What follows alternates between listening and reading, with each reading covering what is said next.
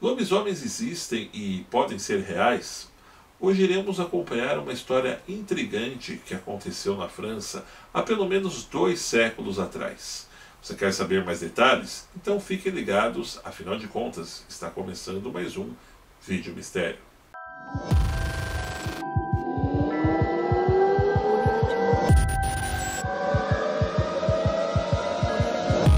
1764, em um pequeno vilarejo no sul da França, um terrível mal estava prestes a começar, deixando os habitantes de toda aquela região em um estado de alerta. A pacata região de Gévaudan conhecera o primeiro ataque deste animal assassino no dia 3 de julho de 1764, quando uma garota, filha de um fazendeiro de apenas 14 anos, foi encontrada com a garganta dilacerada e o corpo completamente estripado às margens da floresta. Mal eles sabiam que esse era apenas o primeiro dos mais de 120 casos de mortes provocados pelo sugaz assassino que viriam a ocorrer nos próximos três anos que viriam pela frente. Os ataques que cobriam uma região de 90 a 80 quilômetros eram cometidos por uma besta que de início foi associada a um lobo muito grande, ou até mesmo uma hiena, que tinham dentes formidáveis e caudas imensas segundo relatos de testemunhas oculares contemporâneas. Três dias depois da primeira vítima, mais quatro mulheres foram encontradas no mesmo estado da filha do fazendeiro, dilaceradas, com parte dos órgãos devoradas, sendo que uma delas não foi encontrada com sua cabeça. O curioso é que as vítimas dessa mesma besta eram apenas crianças e mulheres, onde algumas inclusive chegaram a apresentar sinais de abuso sexual.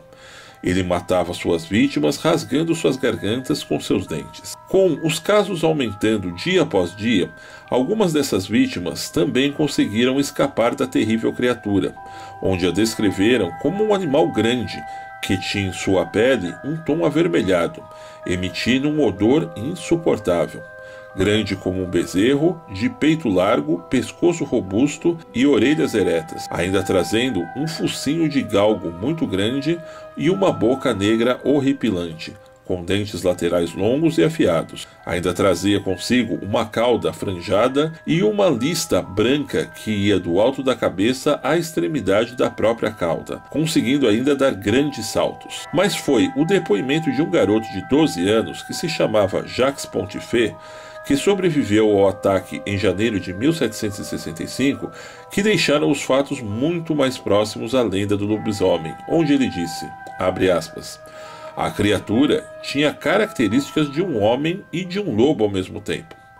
Quando chegou às margens do rio, ele se ergueu em suas patas traseiras e caminhou como um ser humano. Fecha aspas. Meses depois, cansados dos ataques, um grupo de camponeses promoveu uma caçada coletiva à besta, onde acabaram matando quase todos os lobos da região. Felizes e sentindo que o problema tinha sido resolvido, tiveram uma trégua de apenas quatro dias, quando o animal voltou a fazer uma nova vítima uma senhora de 60 anos que foi morta próxima de sua fazenda. As vítimas se alastravam por toda a região, até que as notícias chegaram até o rei Luís XV em agosto de 1765. O governante, sentindo seu poder acuado perante as evidências, ordenou que um deslocamento de 120 homens partissem para a região e que uma grande recompensa seria pago para aquele que trouxesse a cabeça da fera. Os soldados ficaram no local por exatos três meses, sem obter êxito na caçada, enquanto a besta continuava a fazer suas vítimas. O rei, frustrado, contratou um dos melhores caçadores da Europa, dobrando assim a proposta de recompensa caso ele retornasse com a terrível criatura. Uma semana depois, o caçador retornou com um enorme lobo empalhado. O rei pagou-lhe a recompensa e ofereceu um enorme banquete de celebração. Os terríveis acontecimentos cessaram por três meses, até que três mulheres foram atacadas, tendo suas cabeças arrancadas e pernas destroçadas. O rei, sabendo do ocorrido, desistiu da causa, mas antes fez com que omitissem os fatos na corte, a fim de que sua realeza não ficasse ofuscada com os fracassos obtidos na caça ao monstro. Assim sendo, os camponeses se viram sozinhos e tiveram de enfrentar os ataques e lamentações das vítimas por mais de um ano.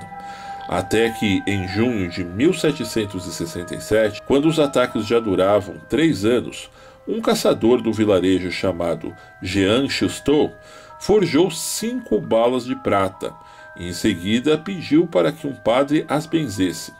Chustot partiu sozinho para a mata Seguiu os rastros da criatura e montou sentinela próximo a uma clareira. Quando a besta apareceu, levantou-se com um tiro certeiro, onde arrebentou-lhe o peito com uma de suas balas de prata. Este fato também fez com que alguns acreditassem que o caçador treinava a tal besta, mas nada foi comprovado. Ao ser aberto o estômago do animal, foi encontrado restos humanos. Então, por si mesmos, os camponeses chegaram a uma conclusão. A besta nada mais era que um lobisomem, que na maioria das vezes comia suas vítimas.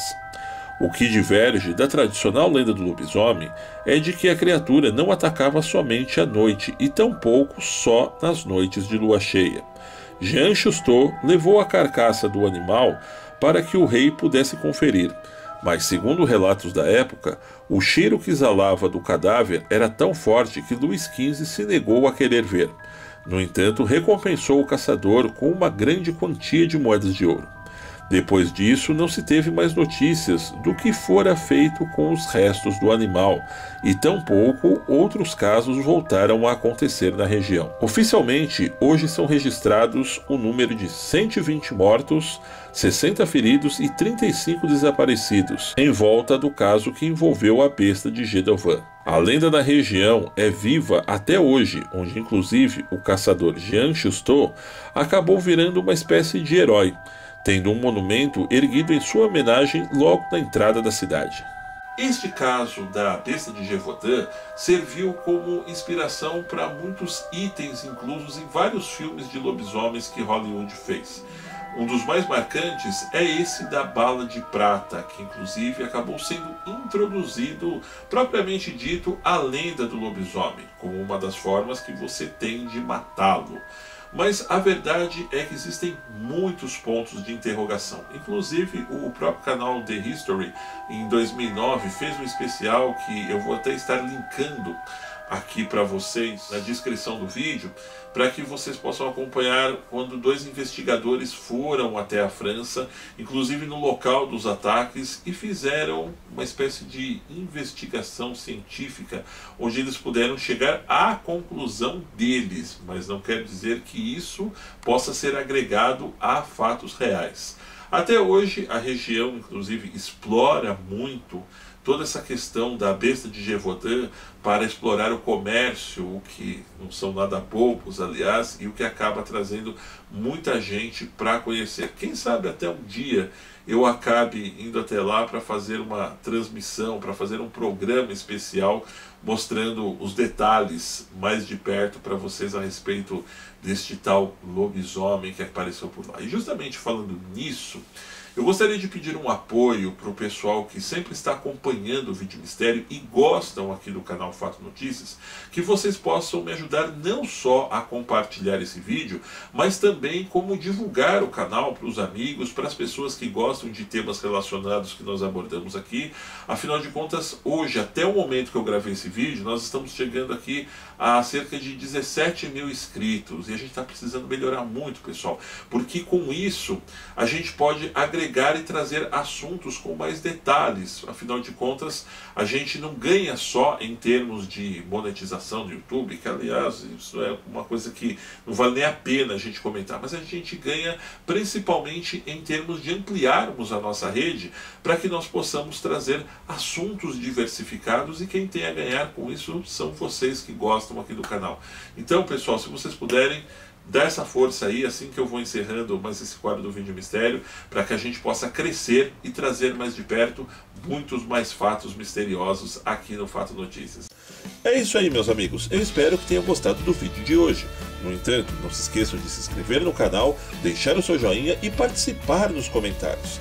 E para receber nossas novidades, acione a campanha de notificações, que está ali, bem ao lado do botão de inscritos. Um grande abraço e até breve!